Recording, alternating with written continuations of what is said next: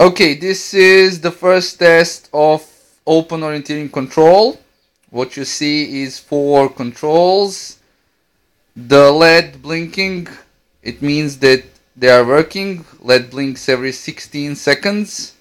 If you can see, they're all blinking at different times.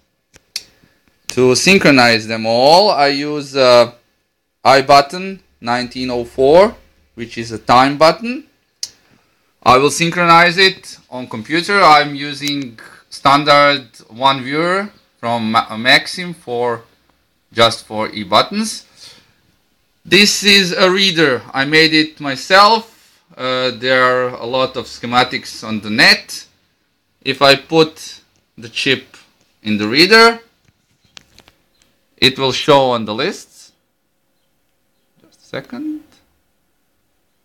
Okay you can see that there is another a new line. I will synchronize the clock with my PC so the clock in the chip is at current time. And now it's synchronized. Now I will use that same chip. And I will synchronize the controls when I put the chip at the control you can see it's blinking a lot. That's one. That's two. That's three. And that's four. So now we have controls which are synchronized. The LED blinks every 16 seconds so we need to wait a little. Okay you see they're not completely synchronized. They're inside one second limit because the time it needs to read the chip and put it in its memory it's not completely accurate. Uh, the controls themselves are accurate for only one seconds in an hour but this is just a prototype and if you don't have money for SPORTident this is good enough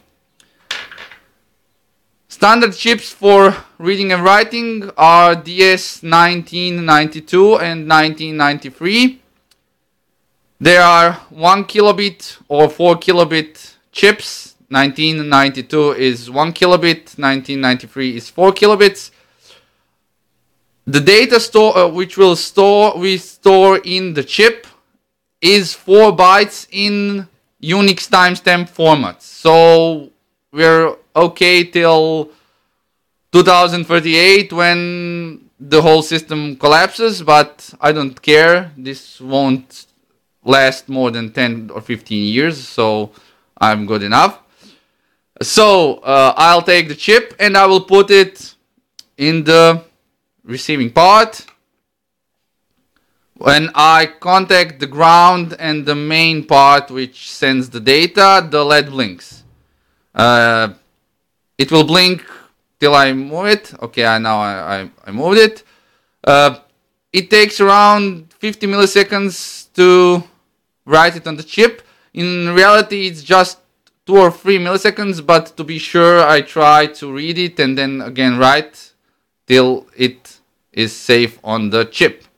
Uh, this is not the proper rece- uh, the proper carriage for, for the chip. There is a nice piece of plastic, but it costs something like a few dollars. And for testing, I don't I don't have too much money because the whole system is pretty cheap.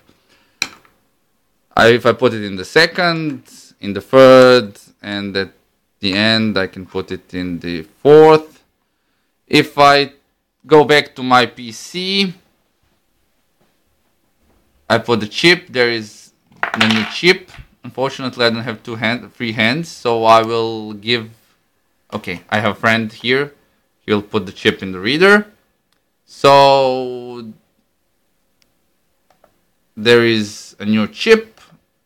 And in its memory, I don't know if you will see it.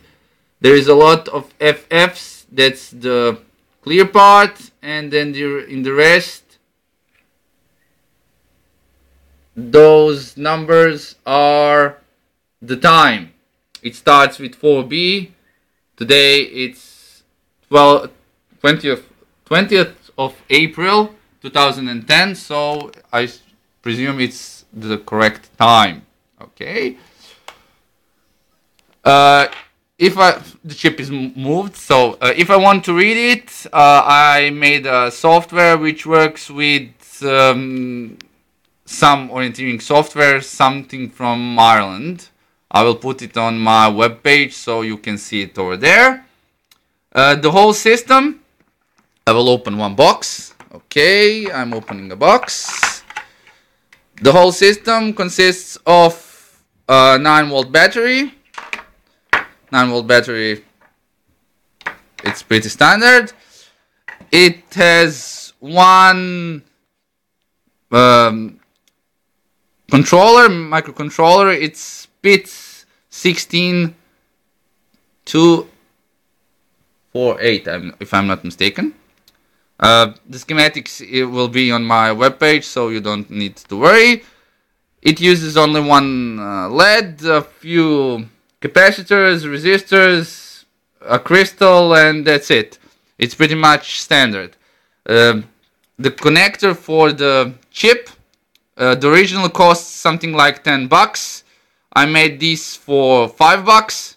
It's made of um, a connector for a garden hose, uh, one screw and some rubber so it's pretty cheap and pretty standard the whole the whole control costs less than 10 US dollars and I think that's it uh, for everything else there will be pictures and schematics on a web page so you can see it for yourselves and if you're questioning about my accent. I'm Croatian and I'm lousy at English. So that's it. Goodbye.